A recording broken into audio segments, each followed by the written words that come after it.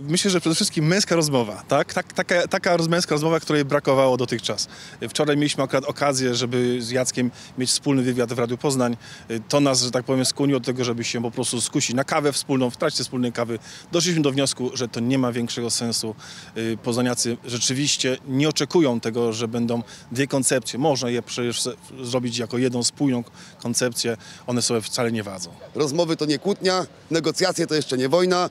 Stwierdziliśmy, że rozbijanie inicjatyw y, prawicowych, patriotycznych, dzielenie się na grupy, wyrywanie sobie uczestników za rękawy y, z rąk podczas tego y, zgromadzenia, dezorientacja ogólna nie sprzyja e, atmosferze Dnia Niepodległości, dlatego postanowiliśmy te dwa zgromadzenia połączyć w jedno. Pierwszym zgromadzeniem będzie oczywiście tam y, ta wspomniana pikieta, która się zacznie o godzinie 13, a o 14 wspólnie jedną trasą pójdziemy w ramach Marszu Niepodległości organizowanego w Poznaniu. Trasa będzie się zaczynała od Rynku Wildeckiego, tak jak w zeszłym roku startujemy, przyjedziemy za kościółkiem ulicą Wierzbięcice, potem skręcimy w ulicę księdza, księdza Jakuba Wójka, tam na rogu będzie krótkie przemówienie y, jednego z historyków, który organizuje ten marsz.